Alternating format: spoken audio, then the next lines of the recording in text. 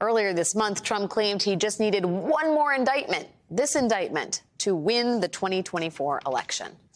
And tonight, The Guardian is reporting that Trump had his lawyers negotiate his booking at the Fulton County Jail to take place during primetime cable news hours, which would maximize the ratings for his arrest. So, yes, Trump seems to be weirdly enjoying all of this. But he is not the only, the only defendant here. He has 18 co defendants in this case, and so far, they do not seem to be enjoying this. In fact, it looks like they are trying to resist every bit of it. Just today, former Trump chief of staff Mark Meadows asked a federal judge to either immediately grant his request to move the Georgia election case to federal court so he could avoid being arrested this week, or to require Fulton County DA Fani Willis to extend his deadline to surrender. Sort of an extension, like a term paper. Now, DA Willis has until tomorrow afternoon to reply to Mr. Meadows' request in a formal court filing, but she already told Meadows' legal team exactly how she felt this morning in an email. Quote, I am not granting any extensions. Your client is no different than any other criminal defendant in this jurisdiction. At 12:30 p.m. on Friday, I shall file warrants in the system. DA Willis means a warrant for Mark Meadows' arrest, if that was not clear. Now, Mark Meadows is not the only one trying to get out of all of this. Both David Shafer, one of the Georgia fake electors, and Jeffrey Clark, Trump's former DOJ lawyer, both of them are also trying to get this case moved to federal court.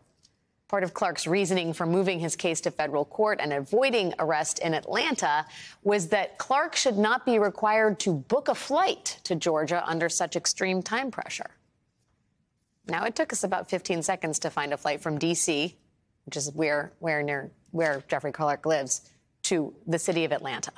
He could fly American Airlines tomorrow for $265. For Jeffrey Clark, a former partner at a major law firm, that does not seem like a great excuse to skirt arrest. But these days, who knows what Mr. Clark's finances are like? Mr. Meadows' lawyers put it a little bit more bluntly further down in his filing today, writing prompt action is needed to spare Mr. Meadows the burden and cost of defending himself in state court. What is becoming increasingly clear here is that the legal bills in this case could be staggering, and it is unclear for whom Mr. Trump is willing to open up his piggy bank. Today, we saw the first of Trump's 18 co defendants in this case turn themselves in for booking at the Fulton County Jail. Now, one of them was former Trump attorney John Eastman. NBC's Ali Vitali was on the scene and nailed down the question I would like to have answered by every Trump co defendant. Who's paying your legal fees? I am. You are. Just you, sir, paying for the right? It's not the former president. That's correct. It is clear that Trump and his co defendants are all in need of a lot of cash at this precise moment. Even if you just look at the bail amounts that we have so far for Trump and his co defendants, that is a lot of money before the case even really gets started. Those dollar amounts and whether Trump starts footing the bills could matter a lot. Take, for instance, former Trump lawyer Jenna Ellis, who is on the hook for $100,000 in bail alone. Last week, Ellis started a crowdfunding campaign on a Christian website seeking small dollar donors to cover her defense bills. So far, she has barely passed the amount needed for just the bail. And today, CNN reports that Jenna Ellis's lawyers met at Fulton County DA Fani Willis's office.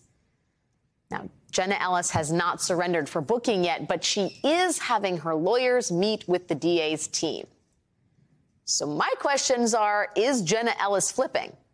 And if so, given the financial pressure on her other 17 co-defendants, or 16, how long until we see others make a similar choice?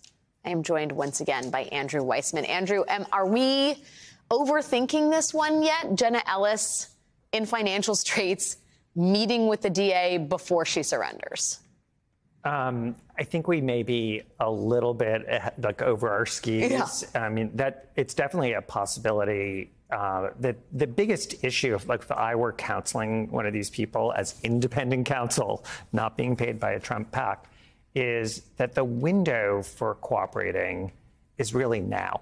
Um, there's there is sort of a race to to come in, and if you want to um, sort of be able to tell a judge at sentencing, you know, I accepted responsibility and this is how I helped.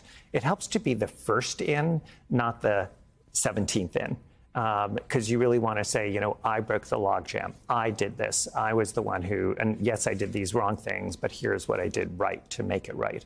Um, and putting that off is, I mean, there are all sorts of things that could happen down the road that, for instance, if you want to give information about Donald Trump, well, what if he um, wins the presidency, you know, he's going to be out of the Georgia case. Well, yeah. But you know what? You're not going to be out of the Georgia case because yeah. that case stays regardless of whether he or an ally becomes president. So if you're thinking about your window of sort of when you are most valuable to the government, it could be now. The time is nigh. Right.